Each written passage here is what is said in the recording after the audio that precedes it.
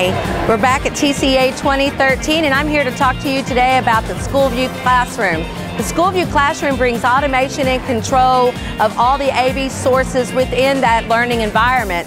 So let's take a look here.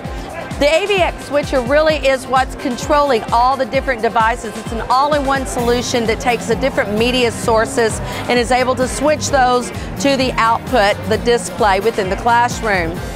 Not only can you, you know, use your common typical types of sources, but we also have the capability from this simple plate to use sources such as the VGA input, HDMI input.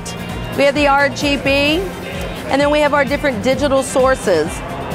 You can also take an iPod or an Apple TV or an Apple uh, or an iPad and display the videos right onto the screen.